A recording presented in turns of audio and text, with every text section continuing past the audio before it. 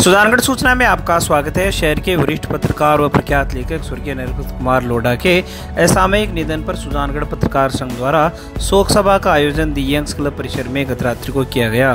संघ अध्यक्ष विनोद लाटा की अध्यक्षता संरक्षक कैलाश चंद्र शर्मा के सानिध्य में आयोजित कार्यक्रम में बार संघ के अध्यक्ष एडवोकेट अशोक कुमार पारिक ने कहा कि सुजानगढ़ के पत्रकार चंडी प्रसाद मिश्र, स्वर्गीय नरसिंह लोढ़ा की स्मृतियों को अक्षुण बनाए रखने के लिए उनकी जीवनी से संबंधित फोल्डर का प्रकाशन होना चाहिए।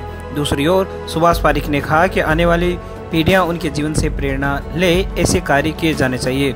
पारिक ने पत्रकारों के विद्रोही स्वभाव की भी चर्चा की। साहित्यकार डॉक्टर घनश्यामनाथ कछावा ने कहा कि सूर्य लोढ़ा के नाम से पत्रकारिता पुरस्कार की परंपरा शुरू की जा सकती है। संरक्षक कैलाश चंद शर्मा, उपाध्यक्ष अनिल मिश्रा ने लोढ़ा के अनेक संस्मरण सुनाए। सुजानगढ़ पत्रकार संघ के अध्यक्ष विनोद लाटा ने कहा कि स्वर्गीय लोढ़ा का निधन सुजानगढ़ ही नहीं अपितु पत्रकार जगत के लिए क्षति है। उनके कार्यों को सदैव याद किया जाएगा। सचिव अमित प्रजापत ने शोक संदेश का वाचन किया। पत्रकार संघ के अध्यक्ष कैलाश चंद शर्मा, अध्यक्ष विनोद लाटा ने शोक संदेश लोढ़ा परिवार के सदस्य सुनीत लोढ़ा, राकेश लोढ़ा, तरुण लोढ़ा, सुशील बेद, हितेंद्र लोढ़ा, विनीत लोढ़ा को प्रदान किया। संचालन कर रहे शैलेंद्र लाटा ने आयोजकीय पृष्ठभूमि को रेखांकित किया। कार्यक्रम में राजकुमार चोटिया तरुण लाटा दिनेश स्वामी, श्याम सुंदर स्वर्णकार, मनीष शर्मा आदि ने विचार प्रकट करते हुए स्वर्गीय लोढ़ा के जीवन से प्रेरणा लेने की बात कही। सभा का समापन दो मिनट के मौन के साथ हुआ।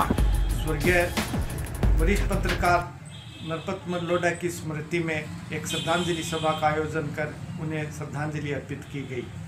इस अवसर पर सुजानगढ़ संघ के सभी पत्रकार उपस्थित रहे और वरिष्ठ पत्रकार राजस्थान पत्रिका के कैलाश शर्मा ने उन्हें श्रद्धांजलि देते हुए कहा कि सही मायने में वे सच्ची लेखनी के धनी थे।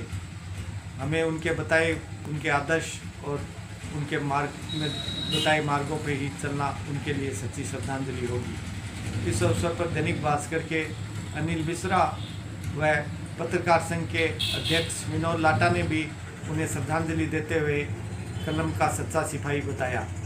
इस अवसर पर वरिष्ठ एडवोकेट अशोक पारिक ने भी पुराने संस्मरण सुनाते हुए उनको याद किया और उनको कहा कि सभी पत्रकारों को कहा कि उनके आदर्शों को जीवन में उतारें एवं उनके मार्ग पर चले। यही उनके प्रति सच्ची श्रद्धांजलि होगी।